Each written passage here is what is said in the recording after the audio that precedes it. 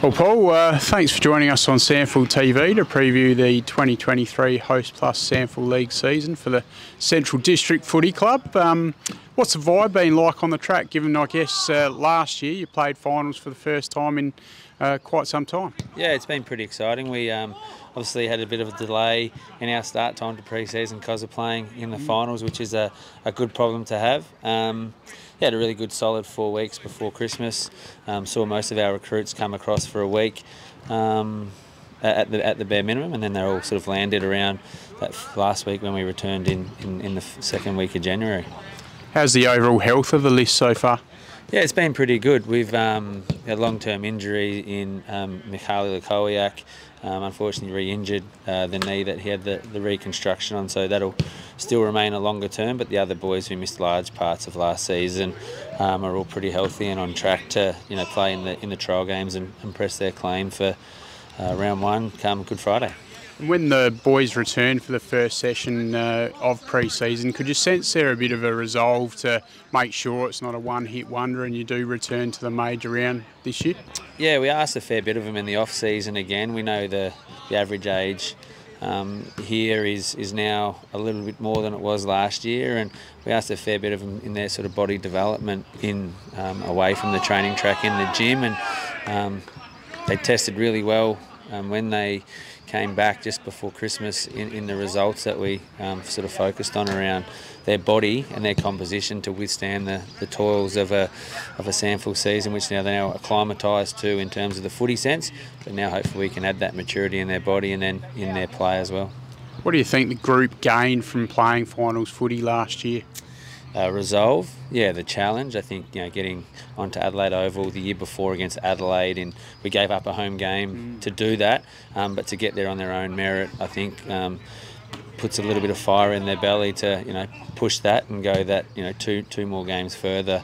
Um, into a grand final is, is now something that many uh, are striving towards uh, recruited quite strongly in terms of quantity and quality this year again. Uh, that's two years in a row, I guess, here to really, I guess, uh, top up the depth of the senior group. But uh, looks like from outsiders looking in that you've really added to that run and carry element with Kai Pudney coming across from Woodville West Torrens, and you've got Wilson Barry and also Kay Dittmar as well. Yeah, absolutely. And we know that Jai Larkins missed a bit of footy last year with a foot, and he come across from Nord the year before.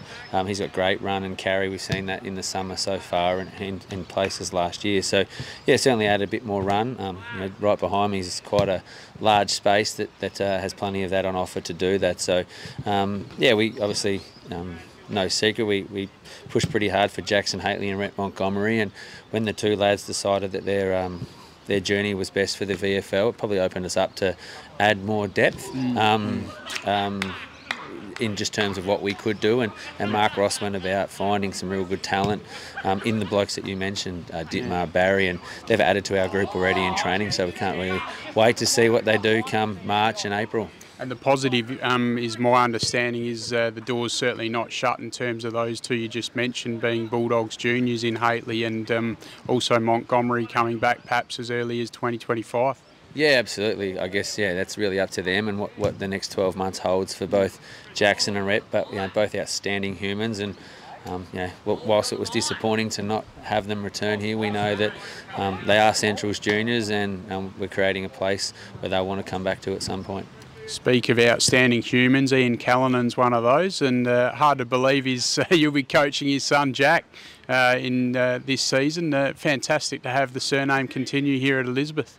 Yeah, it is. Uh, it's another father-son, I suppose. Um, um, it's yeah, disappointing for Jack that he, he doesn't um, find himself in an AFL list, but there's a body of work that he knows is in front of him, and not too dissimilar to, to Dad. It just took took Dad about oh, I don't know, eight or eight or so drafts to, to land his self there. So hopefully we can get Jack there in one or two rather than that, that longer time to, to crack it. What's he like as a player, not having seen much of him? Uh, obviously, a little bit with the Allies in the national champs, but does he play similar to Dad? Uh, yeah, he's got certain qualities. I think if you watch him tonight, you'll see little um, the way he runs, the way he moves the ball. Uh, his game intelligence is very high, um, much like Ian. Um, yeah, I saw Ian when he'd played 100 VFL games Um, so he came with all that class and maturity and things that Jack will learn to pick up over the next, like I said, hopefully 12 months before we can help him find a, an AFL home. And tough to lose the experience of uh, Justin Hoskin, and also I know he didn't play much league footy, but Luke Harble as well. But I guess on the flip side, you've retained Jared Schiller. Um, likely he will go around again in terms of the skipper. Uh, yeah, we'll still look at those things. We um, yeah, losing Dylan Weaver was another one. Just lots mm. of experience around the locker room. Um, but yeah, guys like Kyle Presbury, Billy McCormack in our leadership group, Nick Lang, Ethan East, those guys um, earmarked pretty early for you know the want to stand up and um, lead the locker room and then lead us on field as well. So they've been outstanding thus far and looking to continue that. In terms of the captaincy, yeah, Jared will be a captain. He might be the captain. It's something we haven't really chatted about this much at this stage. But yeah, Jared's an outstanding leader of this club. Has been for the last three years as the captain and was for a few years before he had that title. And just finally, before we let you go, uh, obviously you touched on the, the, beautiful venue out here at X Convenience Oval. Uh, made it a fortress again in 2023. I think your record was uh, seven and two here, which was really, really strong. So no doubt be looking to keep that going in 2024. Yeah, it is. We, we get the you know the two games against Adelaide here, so we pick up that extra home game. Um, yeah, it's, it's, it's such an interesting venue to play at. We know our supporters get behind us, um, um, and no no no greater example than Port Adelaide in the last game yeah. where we, we walked off. So I think that's another thing that in, inspired our blokes to want to push on a little bit as well. We've got that community support, which makes it such a unique place to come and play. Um, and yeah, and, and we think what we've added with talent, depth, and um, and the way in which we want to play our footy. Um, will hopefully continue to add to that fortress. Yeah.